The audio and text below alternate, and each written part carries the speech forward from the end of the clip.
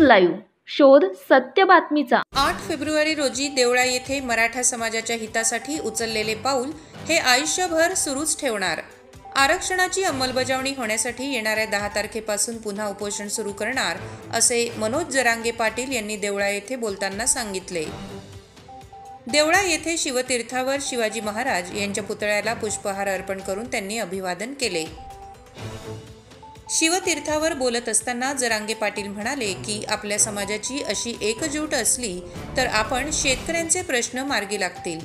सकल मराठ्यांना आतापर्यंत आरक्षण मिळालेले आहे.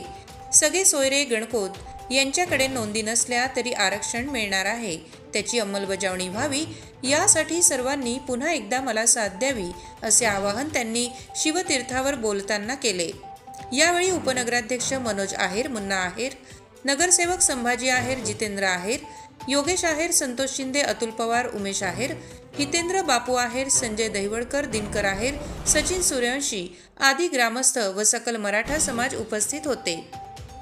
Maharashtra news live. महाराष्ट्रातील लेटेस्ट बातम्या पाहण्यासाठी महाराष्ट्र न्यूज चॅनलला यूट्यूबवर सबस्क्राईब करा आणि बेल आयकॉन प्रेस करा.